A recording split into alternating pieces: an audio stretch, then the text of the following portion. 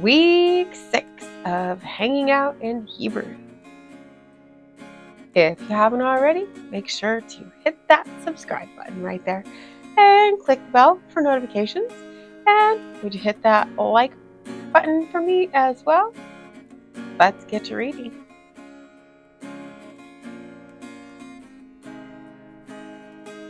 Hebrews chapter 8.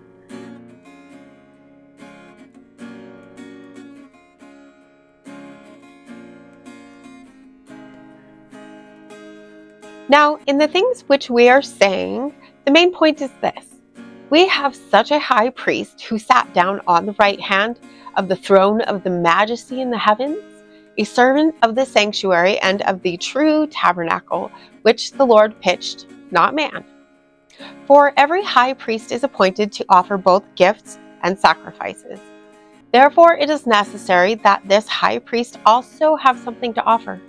For if he were on earth, he would not be a priest at all, seeing there are priests who offer the gifts according to the Torah, who serve a copy and shadow of the heavenly things, even as Moses was warned by God when he was about to make the tabernacle, for he said, See, you shall make everything according to the pattern that was shown to you on the mountain.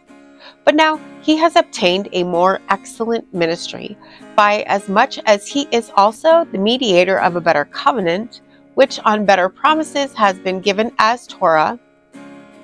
For if that first covenant had been faultless, then no place would have been sought for a second.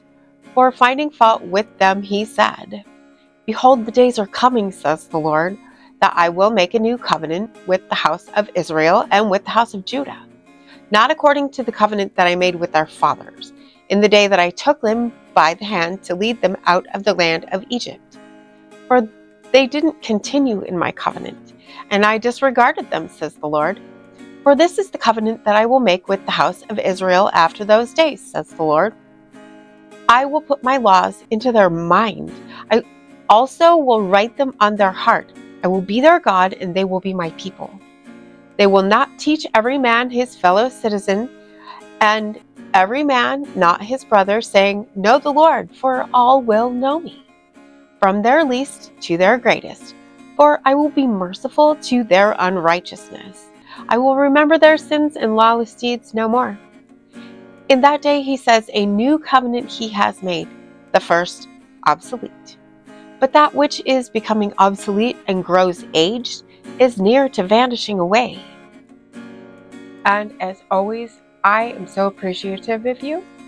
I will see you tomorrow. Maranatha. It's rained all week. Could you make it dry today? The sun finally shines. It's too hot, I say. Teach me to be still, but I don't wanna sit. Let me be a candle for you. Just leave the flame unlit. Me up, no, set me down. I'm ready for more. That's too much now help me out. I'll do it by myself. Give me your word, but I'll put it on the shelf. I need more time.